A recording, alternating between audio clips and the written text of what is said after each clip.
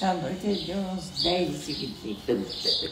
Ô, vô, a avó tá falando que antes de dormir tava um, um festival do, do assopro.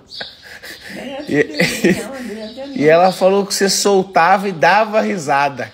E você soltava os assopros e fazia assim. Cá, cá, cá, cá, cá, cá, cá. Ah, esse aí é palhaçada dela, porque eu não fiz nada disso. ele que tem inventando. Ah, não, aí sim, sim. Eu não favor, eu ia dar risada se eu não assoprei. O assopro é uma coisa muito importante na vida da gente.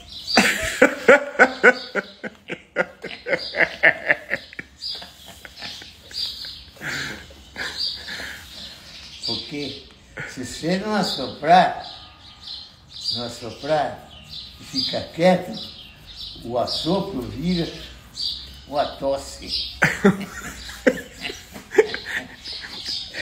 Ô, vô, é por isso que direto ela tá com tosse. Não tá soprando. Não assopra. Não assopra. Então, ficar segurando o assopro, depois vem a tosse. É muita conversa. É isso aí. É isso aí. É. É.